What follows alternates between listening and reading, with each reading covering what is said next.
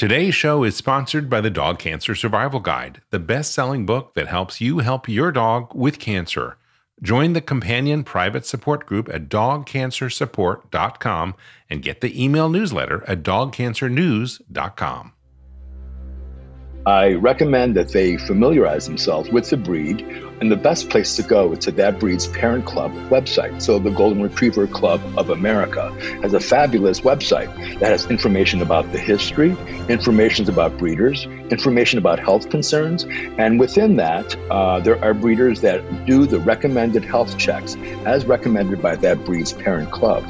And AKC designates those breeders, honors them by giving them the recognition called Breeders of Merit.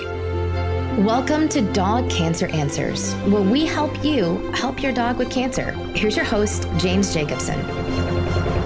Hello, friend. One thing that all dog lovers have in common is that they do not want their beloved dogs to get cancer. Not ever. And if you're listening to me now, you have probably already been through that heartbreak at least once. And you hope that maybe there is a way that you can avoid it in the next dog that you get.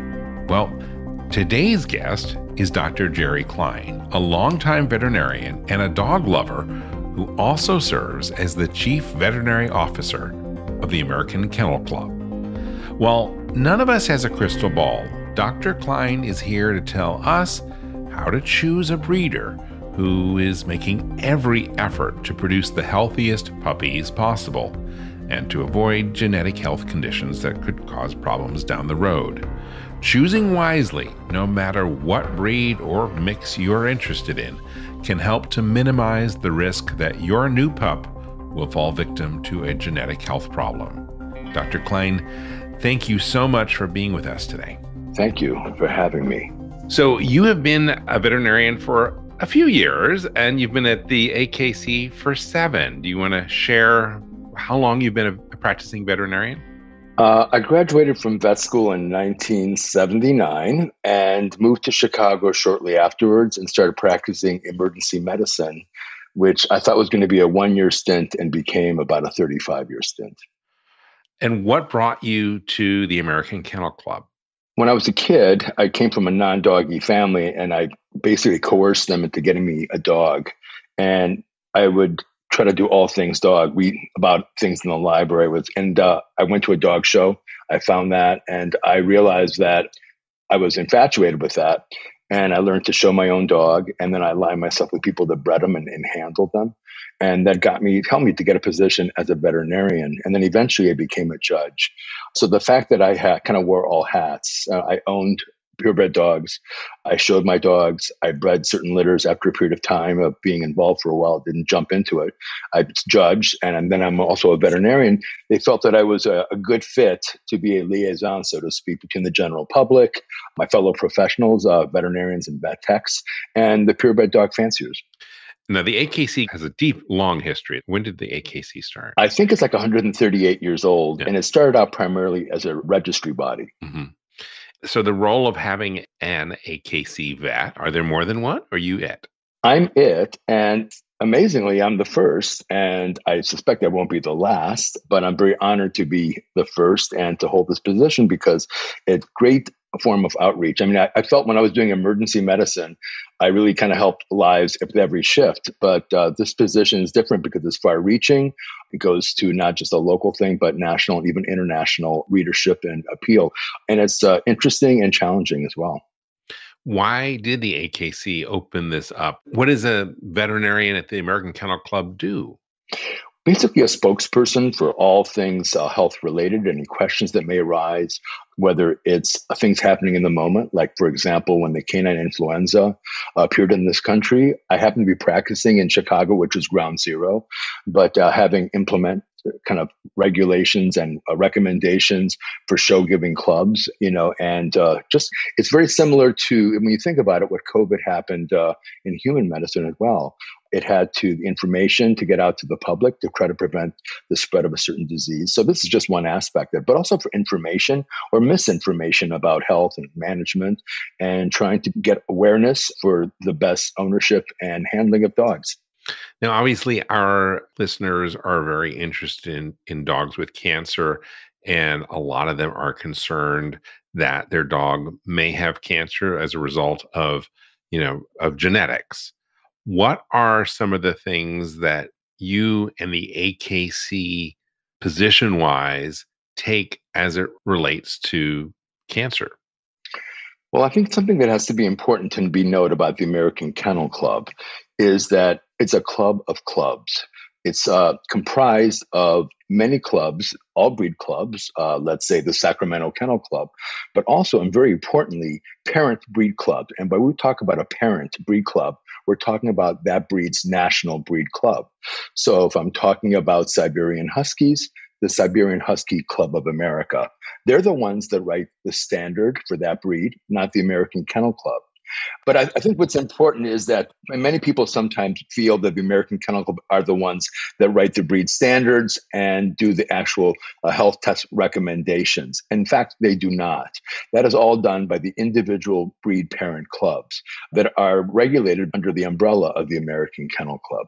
Got it. Okay, so now that we kind of understand the politics of it as it relates to cancer, what are your thoughts in terms of genetics and breed standards and all that in terms of the proclivity of some breeds you know to have more cancer than others say golden retrievers or boxers of course and i think a couple of things goes into that uh, when people decide to get a dog one thing that i discourage is impulse buying mm-hmm. or impulse adopting which unfortunately in the last year we saw a great deal of because people had a knee-jerk reaction to get a dog or cat because they need a, a loneliness or companionship and they sometimes get a dog and this year we found many dogs and cats either that either people didn't know what they were getting or was a bit of a concern because they may want to relinquish them which we never want. We want an akc something called a good match which is when people do their research and understand what the breed entails what it was bred to do. So it acts in a certain way. It's not a surprise. So the chance for a lifelong relationship is improved rather than concerns and either return to the breeder or worse relinquish to a shelter.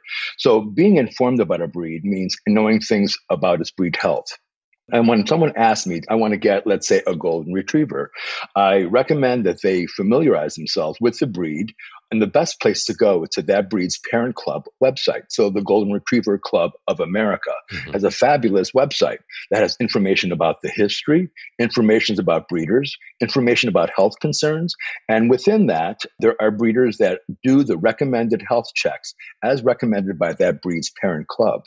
And AKC designates those breeders, honors them by giving them the recognition of called breeders of merit.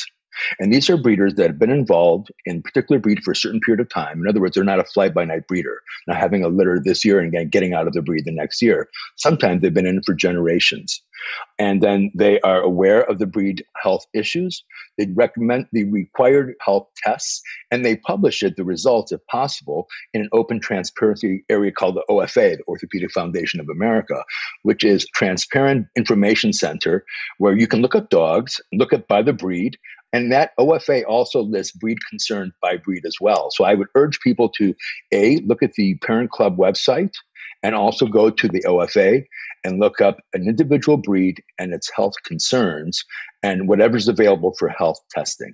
Is there only one officially sanctioned website or club for each breed like you would say, you know, so you go to the Golden Retrievers Club, Club of America. America. Yeah. So there's just that one resource if you're interested in a golden. Well, Golden Retrievers have many, many local breed clubs. Sure. But the the parent club is the one that organized all of them. They are the ones that form the breed standard. They are the ones who do the regulation of that breed. And the members of that breed are the ones that may recognize any health issues that are occurring, often with work with your veterinarian. They talk amongst each other. And if they find that there's a health concern, they oftentimes fund research through the Canine Health Foundation, for example, to try to either figure out if there's a genetic basis for it or forms of treatment. Canine Health Foundation is an affiliate of the American Kennel Club, and it's the largest not for profit organization strictly dedicated to canine health and research. So much has been done over like $60 million towards canine health and research. So it's been a great asset for to know about what we know about canine health, and not just for purebred dogs, but for all dogs because they do studies like in epilepsy, cardiac disease, cancers. So it doesn't affect just a golden retriever, but it'll affect dogs that are getting that kind of disease. Let's tease out that OFA. That is a single repository that all of these, the Golden Retriever Club of America and, the, and its corollary for the different breeds, connect with to contain medical information?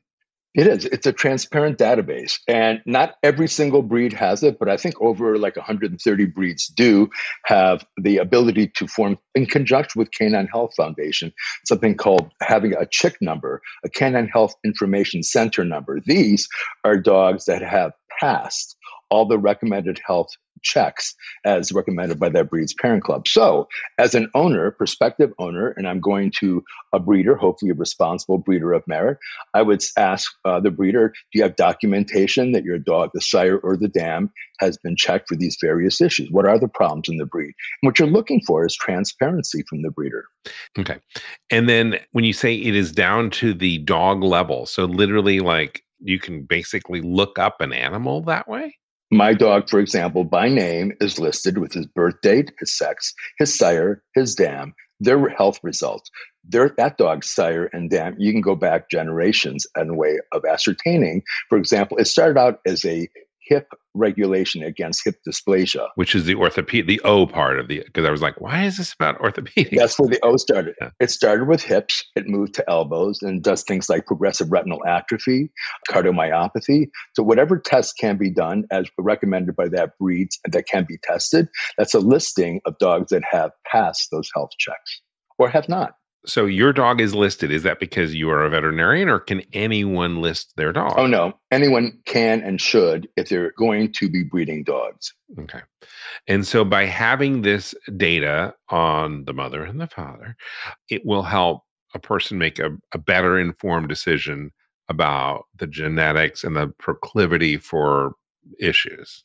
Yes, but I think what it really does, if I was a novice person or was guiding someone to get a dog, it tells me that the person I'm getting it from has done their due diligence to be committed to that breed, mm.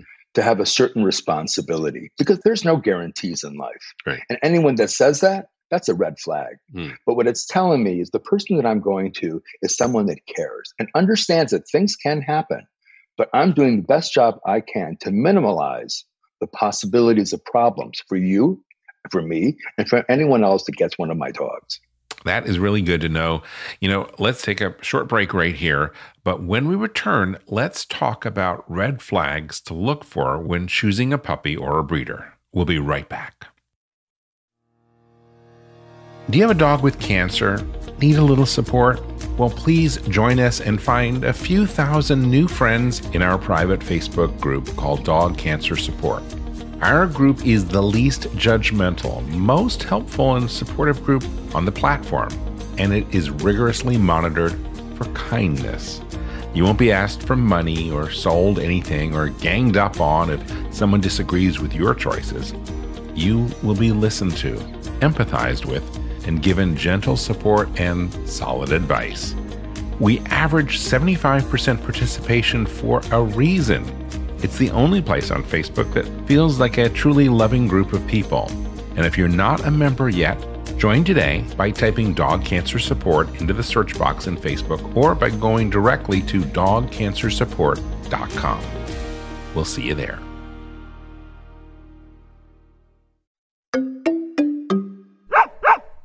And we are back with Dr. Klein. Well, let's talk a little bit about those guarantees and those red flags. What are some things that a person who's interested in getting a purebred should look out for in terms of really being able to suss out if this is a reputable breeder and more directly if this puppy is the right one? Well, after you've done your homework to decide that this is the breed for you and have decided that maybe that is a person that you might want to inquire about, depending on the popularity of the breed, first I would see is what kind of questions is the breeder asking me? Mm. Because am I going to be a qualified owner? When I get inquiries for one of my puppies, I stay up late at night thinking about losing sleep. Do am I going to sell one of my puppies to this person? And if I don't feel, I may ask, uh, where do you live? Do you have a fenced in yard? What kind of time do you have? So the, the kind of questions that person is asking the prospective owner tells me an awful lot about the breeder. So if they basically are trying to disqualify you as good enough to have one of their puppies, they may actually be a, a better breeder. In a way, it's it's part of my family, of course. And someone that you know, oftentimes someone says, "I want a, a silver poodle," you know, for my son's birthday next week. And guess what? They may not have one because it shouldn't be just merchandise. I'm not saying it's not going to be available, but someone that doesn't have a dog at that very moment is not a bad thing oftentimes it's a very good thing. And oftentimes a responsible breeder, if they don't have it, will either put you on the list for a litter they have coming up and you have to be able to wait, or they'll refer you to another responsible breeder. But part of the, the responsibility lies on the prospective purchaser mm-hmm. because they oftentimes in this society want something tomorrow in a color or maybe yesterday. And I hate to wait 24 hours. And so some of the problem has to be put on both hands. It's not just the breeder. In fact, oftentimes it's this the uh, the demand and the, the need to feel like it should be dealt with as merchandise, which it certainly should not. Getting a puppy is not as simple as going online and ordering something on Amazon. In some ways, it's become like that. The question you're asked is how do I tell a responsible breeder? Mm-hmm. That's what I would tell someone. What are some other red flags or things that would make you go, huh, this may not be the right breeder? Depending on your, your ability to go to the breeder, you should at least ask can I go and see the litter? Can I go see the dam? Now, whether you can physically or not is up to you. You're, some people fly. I've had people fly from Seattle to come to see me to get a dog. But the answer should always be, of course, you can't just drop in, but with an appointment, you can stop by. The answer should be, of course, you can within the limits of my schedule. Mm-hmm. But if you are not allowed or they're not, you're not available to see the dam or the litter of puppies, for me, that would be a red flag. That is really good advice because firsthand, I've done that and I've flown places, not that far from one island to another, multiple times to make sure that it was the right situation. So when you go and look at the breeder, are there things that are giant red flags or not? Like, is someone who's doing this out of their home in their backyard, does that make them a backyard puppy mill? Well, I've taken great offense is being called a backyard breeder mm-hmm. because mm-hmm. I have a beautiful backyard that my husband tends to beautifully. And I have a litter every perhaps four or five years. And so if someone calls me a backyard breeder, I am, take great pride in it. I, am not denigrated, but I take offense if someone thinks it's an offensive term. Right. I'm a responsible hobby breeder. Mm. And my backyard is lovely. I invite you to it if you're ever in Chicago. Okay, I will do it, but not in the middle of the winter. I, I, think the quality of the yard or the location and the, the animal husbandry, they don't have to have cushions, but the animals should be kept in good condition, clean. There should be good records. There should be great openness and transparency and, and information. A good breeder wants a client to have a dog uh, protect them for life. They're willing to answer questions after that sale is done. They're willing to have either as a contract, if something doesn't go right, they want to know about it.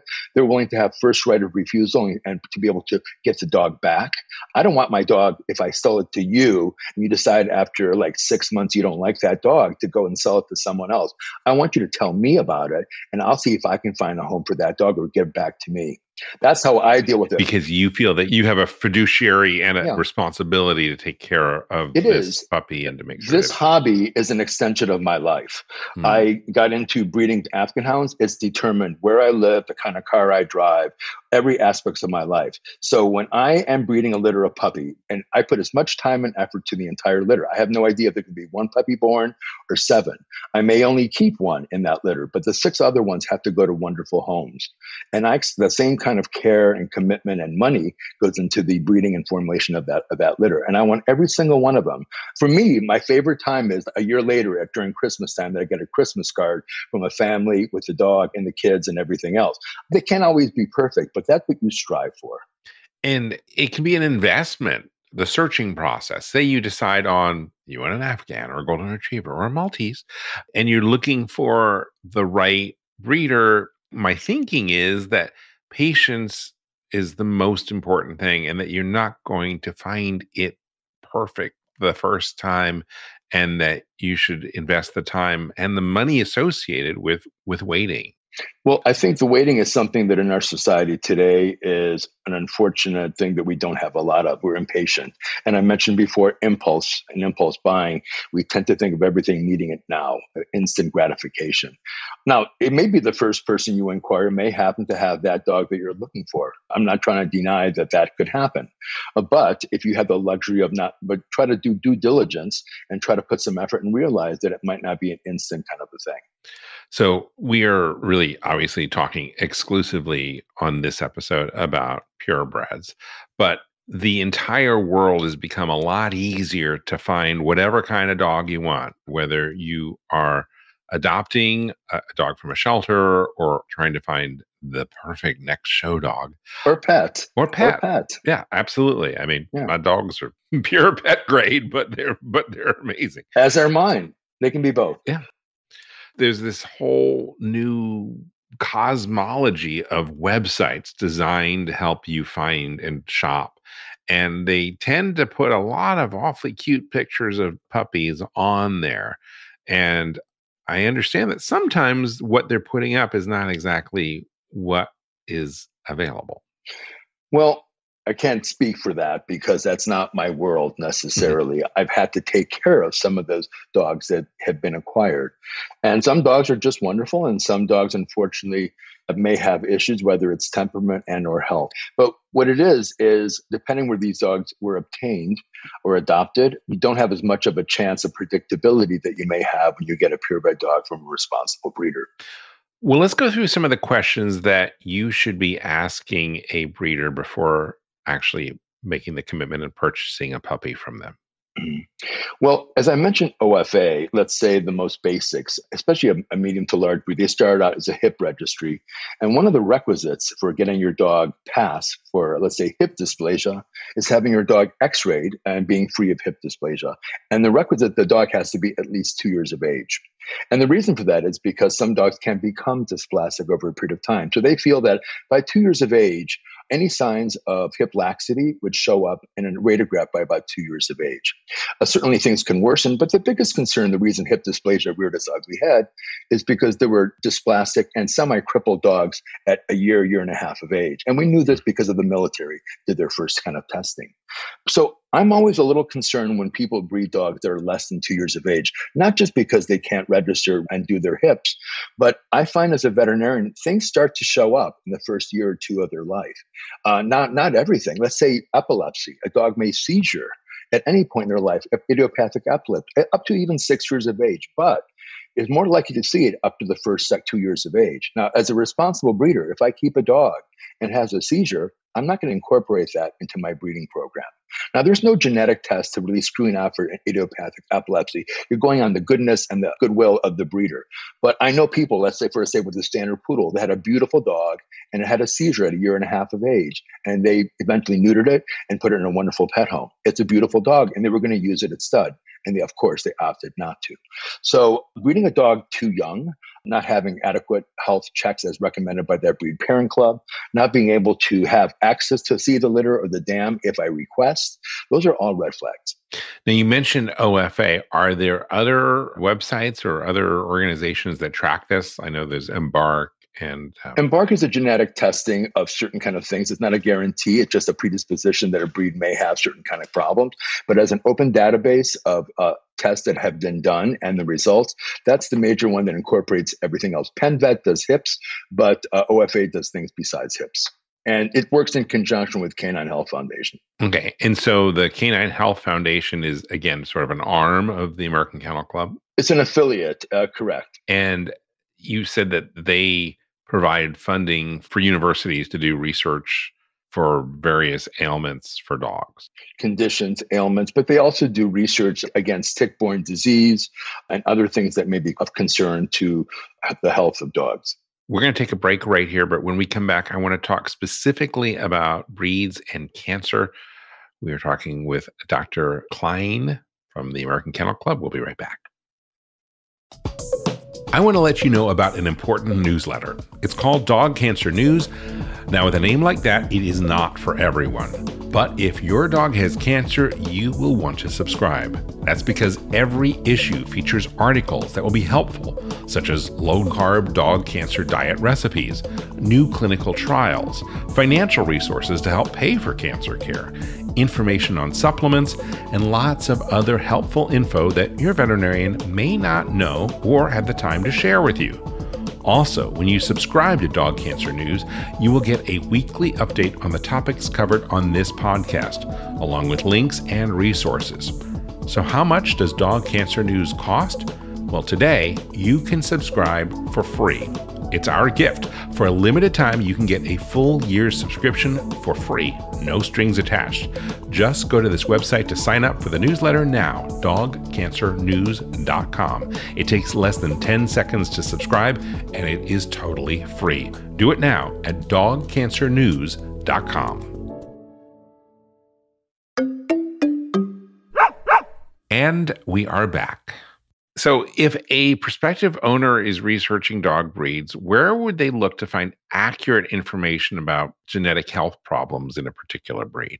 Uh, to understand the breed, you'd have to go to the breed's parent club website to understand what the current concerns of that breed's members are of their own chosen breed.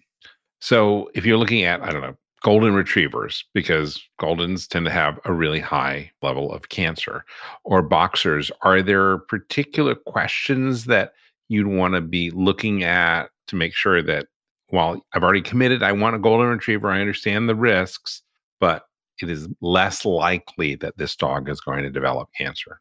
Well there are some breeds where their parent club recommends uh, cardiac testing at, let's say, a year of age, or some breeds until two years of age, or in some breeds, every year, or for eye, for cataracts with an ophthalmologist. So, depending on the breed, depending on the condition, and depending on what can be tested, uh, those are the things that might be found within that breed.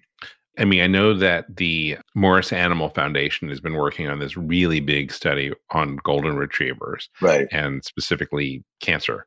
Is there any way that you, as someone who wants a golden retriever, can have access to that to kind of connect that and again reduce the odds of getting a golden who develops cancer? Well, one of the problems with Goldens and cancer was that a prolific sire of 25, 30 years ago became uh, use enough that be kind of widespread through the gene pool. So it became difficult. Wait, but say this again. This is news I've never heard. Well, I think the reason something becomes interbreed is because a certain dog may be used at stud or used as a brood bitch, and problems can happen. And let's face it, that can happen. And I think hemangiosarcoma was probably due to a dog or a certain line of dogs that had this condition.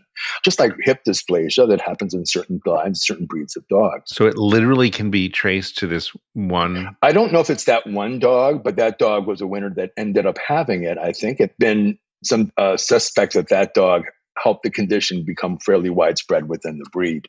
Right now, it's so diverse that you can't just pinpoint it. It'd be like trying to do that with people with a certain condition. So, what you're trying to do, the kind of questions that I would ask is how old is the mother and the father? Are the grandparents still alive? What did they die of? Mm. I mean, there's nothing wrong with asking those questions. And I think that would be very important for me to want it if I want a golden retriever. I would ask, you know, anyone trying to get an Afghan hound from me, I expect them to ask intelligent questions about where are my dogs? How long do they live? I can tell you exactly. About my line of dogs live to be 12 to 14 years of age. They always have. Uh, and I expect that. They don't ever live past that time. They're Afghan hounds. They were raised from generations in Afghanistan. There was no veterinarians in Afghanistan. So it's survival of the fittest. They live a long life. When they get old, they get sick and they die. And to be truthful, that's they don't have things like Cushing's or epilepsy. So every breed has certain conditions. But what I find interesting is the more ancient breeds have less uh, health issues than the ones that were developed in the last 150 years. Why do you suppose that is? A richer genetic pool? Well, because of those breeds were survival of the fittest. Uh, Again, in Afghanistan, Egypt, Saudi Arabia, in uh, in the Congo, there were not veterinarians taking care of these dogs, so they lived, and uh, the most fit are the ones that live to tell. Shout out to my Maltese again. Old breed, right? What precautions should a breeder be taking to protect their puppy's health? Well, always the best nutrition possible that's age appropriate and best for that type of breed. Sanitary conditions, parasite prevention, whether it's intestinal parasites, uh, worms, or coccidial or protozoal parasites, making sure the parents are on proper management.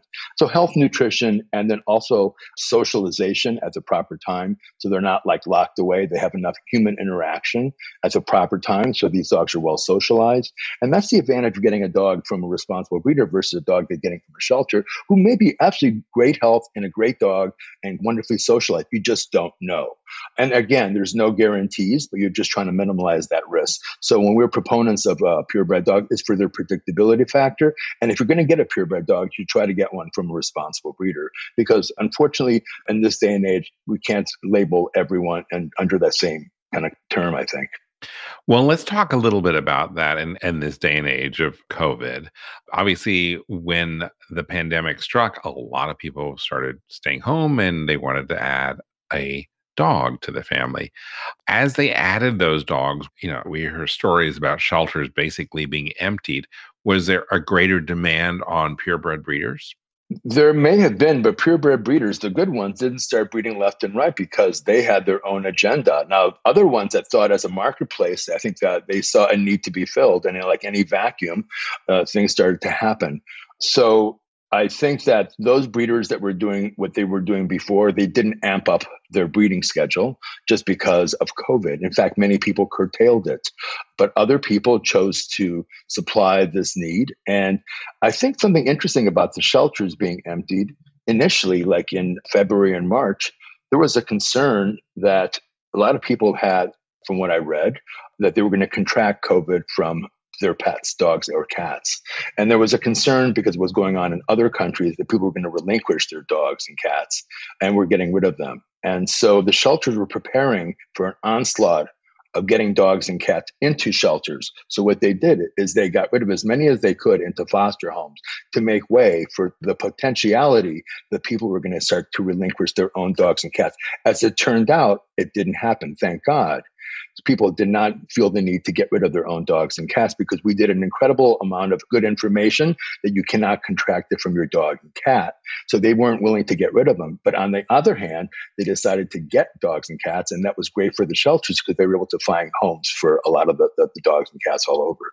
I recall that nano moment when people were saying it was going to, I think there was something, a dog in Hong Kong had eaten a tissue and maybe they thought maybe that was connected with the owner getting COVID or something like that. Yeah, but it was, it was a scary time, a lot of questions, and we didn't have a lot of answers. And I think a lot of people, everyone, veterinarians, shelter workers, healthcare workers, didn't know where this was leading, and they're trying to do the best thing possible to prevent some kind of a panic response. So, would that be a fair question to ask a breeder? Like, have you been selling more puppies now that uh, that it's COVID time? I mean, you could ask a breeder. I'm not sure how much importance I would place on the answer, depending how they answer the question. Mm. I give everyone the benefit of the doubt until proven or said saying something that strikes me off. And let's face it, not everyone takes care of dogs the way I do, but it doesn't necessarily make it wrong. Right. But I always look at it with some form of open mind to make sure it's done properly. So if one were to try to be Columbo and try to really, you know, make sure that the questions are smart and uh, they are leading enough to get a breeder to reveal the true nature of their of their breeding. What are some of the things that you would do, or some of the more tough questions that you would ask? Well, I would ask how long they've been involved in the breed what was their reason for getting into it? And they're going to ask, what's your reason for getting into it? Really, because it should be that kind of conversation. So you should hear them pushing back, not pushing back in a, in a confrontational way. It's but- a conversation. It's a conversation. Mm-hmm. It's a conversation where you're both should be listening to each other. Where the point is, isn't for someone just to get rid of a dog, mm-hmm. but to make sure the person getting a dog is the right person for that dog. And then what about recommendations and talking to past clients? Every breeder may certainly do that. I know that there have been names that have been around in my breed, the Afghan Hound, where there have been people through the years that have obtained dogs and either not cared for them properly or gotten rid of them. And those names get out especially in this day and age, this is before social media. Now, I'm sure it's very possible to denigrate someone. So the thing is, it's not a smear or, or cancel culture, but I think that if someone is doing this for the wrong reason and someone gets the gist of this, uh, responsible breeders hang out together and they talk you know and so if something doesn't seem right or if someone had a bad experience we all do this in the dog's or the puppy's best interest our job is to make sure that everything goes smoothly if we know someone's a bad apple a potential someone who's going to buy a dog, I'll do whatever I can so that my dogs don't get in bad homes. But I want to make sure someone else's dog don't either.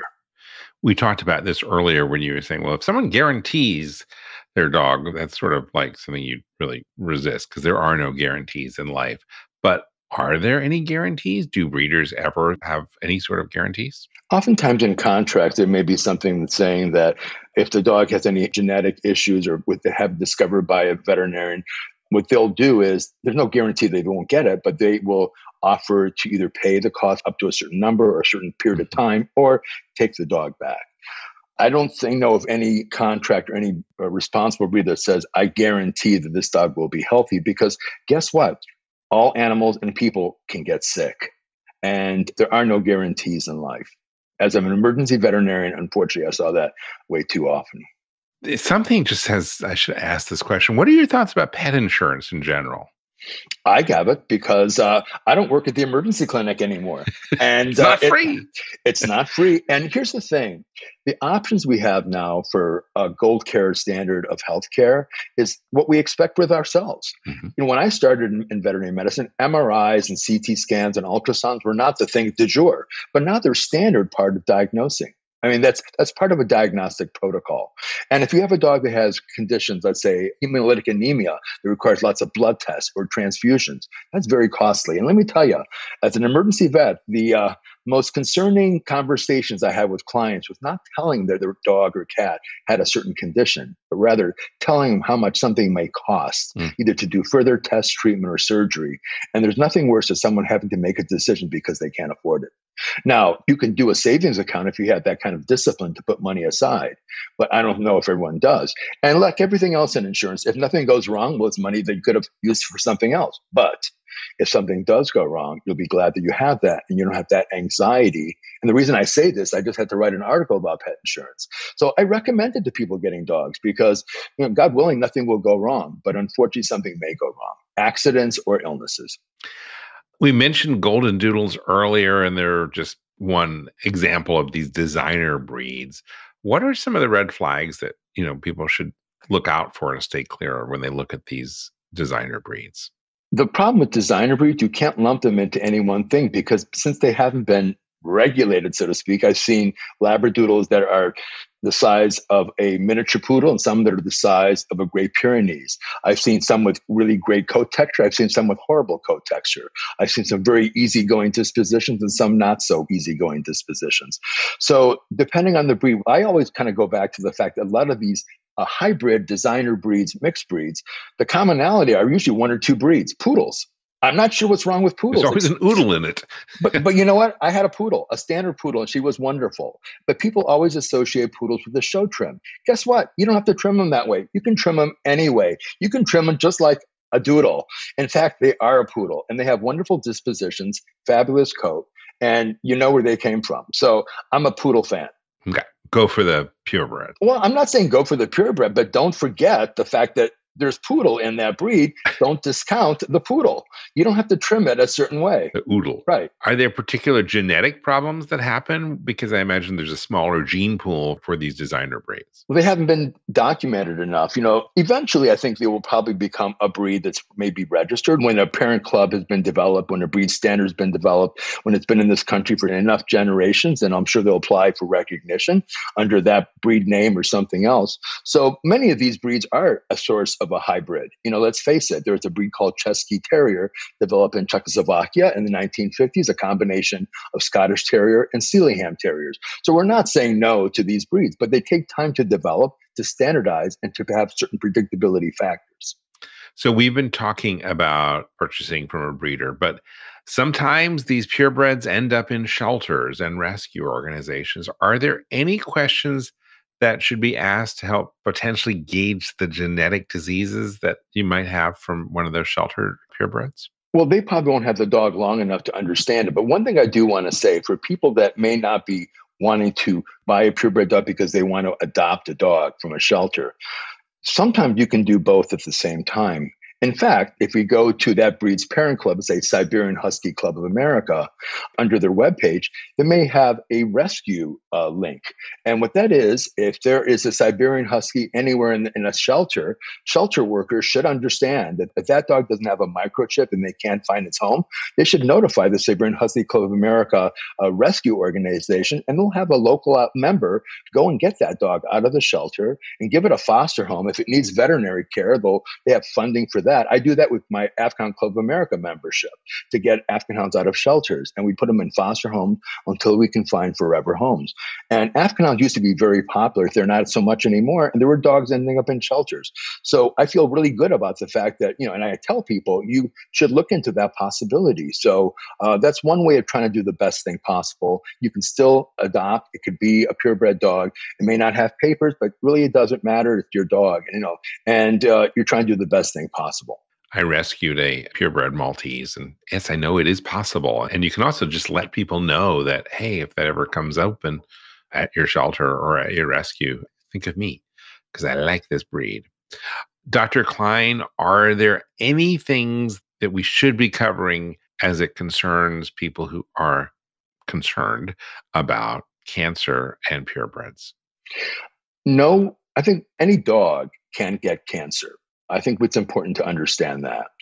Certain breeds are known for certain things, whether it's an innate ability to hunt or maybe a propensity for intolerance for heat or some other kind of condition. With the differences, we understand that those are greater chances of understanding those problems. But it doesn't mean that a mixed breed dog can't get cancer or can have heart disease or can have uh, seizures. That's inherent in all dogs, unfortunately. But understand that if you have a breed, what the history of that may entail, understand that with your brain going into it, and then be willing to do anything you have to seek the best breeder possible, and then get the best vet you can to work with in case uh, there are issues. Dr. Jerry Klein, thank you so much for being with us today. If folks want to get in touch with you or the AKC, how do they do that? Well, the American Kennel Club is a wonderful website with lots of information. And my address is CVO, like Charlie Victor Oliver. For Chief Veterinary Officer. Hence the name, at akc.org. Dr. Jerry Klein, thanks so much for being with us on Dog Cancer Answers. Thanks. I hope people got something out of it. And thank you, listener. So, while a breeder can't guarantee what will or won't happen in your dog's life, the health testing and information tracking that a breeder does can give you an idea of the genetic risks that a puppy might have. So, if you are getting a dog from a breeder, the breeder should be willing and able to tell you about the longevity in their lines and any health problems that have shown up. And of course, a puppy from a shelter or a rescue may also lead a perfectly healthy life. You just don't get the benefit of the family health history. You can get all the links and resources mentioned in today's episode in the show notes or on our website at dogcanceranswers.com. And if you have a question about dogs and cancer that you would like to have answered here on the show, please give us a call on our listener line. That number is 808 868 3200. It's available 24 hours a day, seven days a week. Just call 808 868 3200. And please subscribe to our newsletter, which is called Dog Cancer News, and you can find the link to do that on the website at dogcancernews.com. Now, if your pup has been diagnosed with cancer and you need some friends to talk to, we invite you to join our very helpful Facebook group. You can find that on Facebook or by going to your website and typing in dogcancersupport.com. That's dogcancersupport.com. If you enjoyed today's episode and our conversation with Dr. Klein, please follow us in your favorite podcast app. And please tell a friend or two or three or as many friends as you want who have dogs. And maybe even consider sharing this show with your veterinarian and their staff. It helps us grow and serve more dog lovers just like you and me. That is it for today. But from all of us here at Dog Podcast Network, I'm James Jacobson wishing you and your dog a very warm aloha.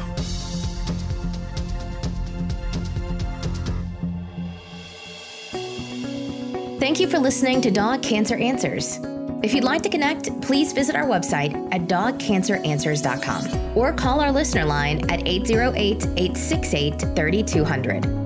And here's a friendly reminder that you probably already know. This podcast is provided for informational and educational purposes only. It's not meant to take the place of the advice you receive from your dog's veterinarian.